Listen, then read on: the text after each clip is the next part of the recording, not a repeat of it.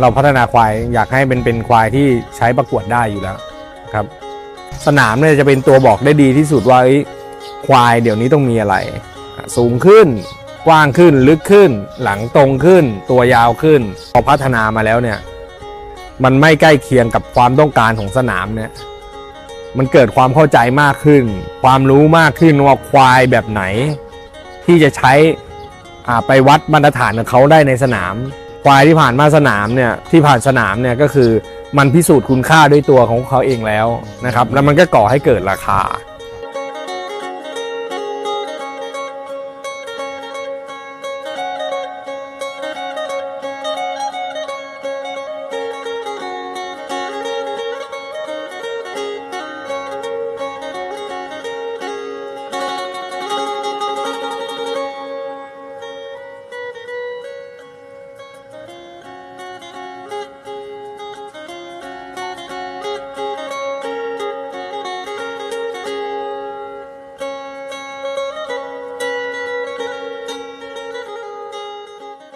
สวัสดีพี่น้องคนเลี้ยงควายทุกท่านนะครับ วันนี้ผมก็พาพี่น้องนะครับมาอยู่ที่สุขดีฟาร์มควายงามอยุธยาของพี่อาร์มนะครับ หรือสอจออาร์มนะครับ ที่อำเภอท่าเรือจังหวัดพระนครศรีอยุธยานะครับพี่อาร์มสวัสดีครับครับ สวัสดีครับนะครับ วันนี้ก็มีเรื่องพูดคุยหลาย ๆ เรื่องนะครับ ที่จะมาสอบถามแนวทาง แล้วก็องค์ความรู้ต่างๆ ในการพัฒนาควายนะครับ ณตอนนี้เนี่ยฟาร์มของพี่อาร์มเนี่ย พัฒนาควายไปในรูปแบบไหนอยู่ครับตอนนี้ ก็เราพัฒนาเนี่ยก็คือ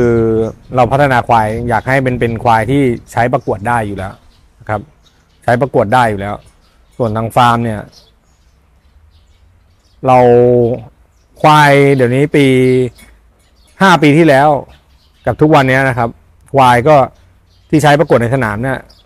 รูปอ่า ทั้งขนาด ทั้งความสวยมันเติมเต็มมากขึ้น จุติน้อยขึ้น เราก็ต้องพัฒนาให้ได้ตามที่เป็นปัจจุบันนะครับ ที่สนามหรืออ่ากรรมการเนี่ยเขาชอบนะครับ ในหลักของควายงามเพราะฉะนั้นอย่างที่ฟาร์มเนี่ย เราพัฒนาก็จะจากแม่ที่เคยเก่าเลยก็จะเป็นแม่ที่เคยส่งลูกประกวดอยู่แล้ว แต่เติมตรงไหน แม่ควายตัวไหนสายไหนให้อะไร เราก็จะไปศึกษา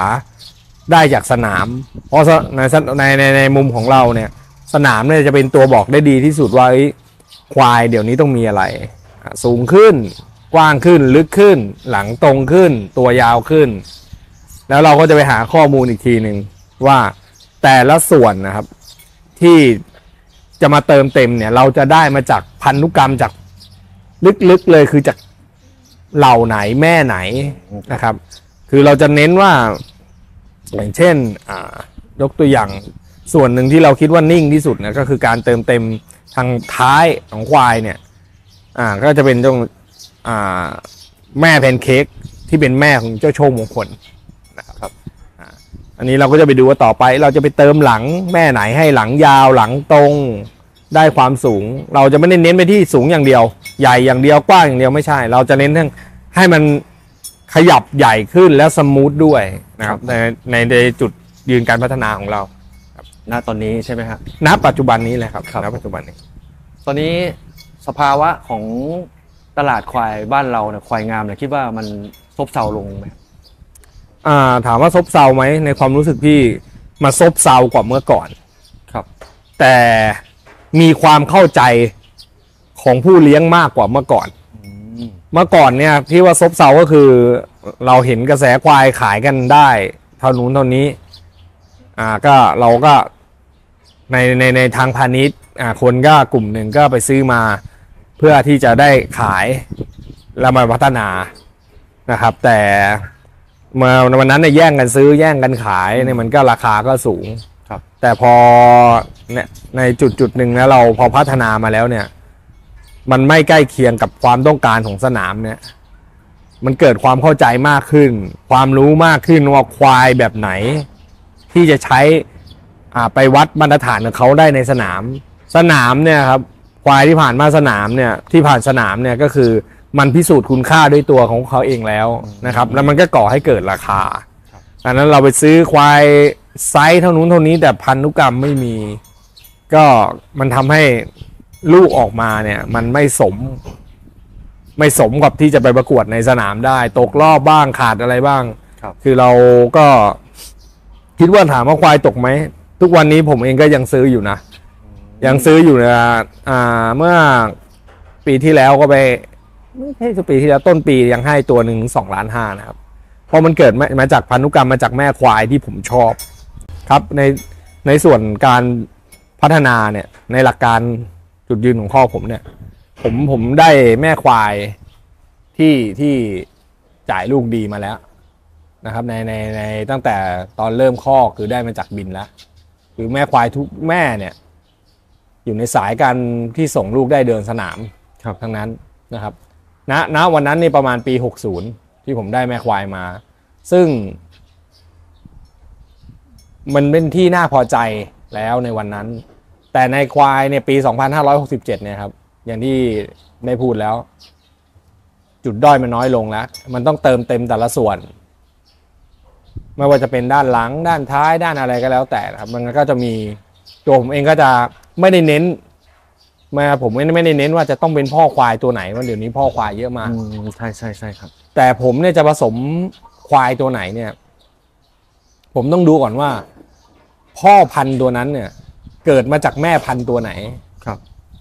แล้วแม่พันธุ์ตัวนั้นเนี่ย หลักของแม่พันธุ์ตัวนั้นคือ ต้องเป็นสายที่จ่ายลูกได้เดินสนามมานะเดินสนามมาพิสูจน์ตัวเองในสนามทำให้เกิดมูลค่านะครับ แล้วก็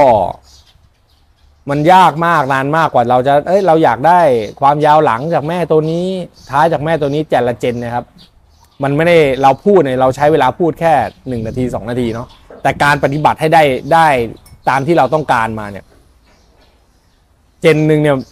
ควายท้องหนึ่งอ่ากว่าจะท้องเนี่ยสี่ห้าเดือนกว่าจะท้อง แล้วก็ท้องอีกสิบเอ็ดเดือนนะปีกว่า กว่าจะโตได้ใช้ได้เพราะเผื่อควายอีกสี่ห้าปี ซึ่งของผมก็มีอยู่ในคอกครับ อย่างผมยกตัวอย่างผมเคยอยากได้พันธุกรรมของอ่านางพญานะครับของบินตั้งแต่ปี 61 ว่าเขาเป็นแชมป์มาเลยเมื่อก่อนนี้แล้วเป็นควายที่สวยตัวหนึ่งในยุคปัจจุบันและตลอดไปด้วยทำ เราจะทำยังไงเราจะได้พันธุกรรมของนางพญามา ผมก็ไปดูว่านางพญาเนี่ยเกิดจากแม่ตัวไหนนะครับ แม่ตัวไหน และแม่ตัวนั้นเนี่ยมีอัตราการให้ลูกที่ดีไหมหมายความว่าลูกออกมาห้าตัวเนี่ย ดีสามตัวดีสี่ตัวครับฉะนั้นเปอร์เซ็นต์การให้ลูกเขาก็จะสูง การให้ลูกดีจะสูง ก็นาวันนี้ผมได้เพิ่งอ่าได้ทับอ่า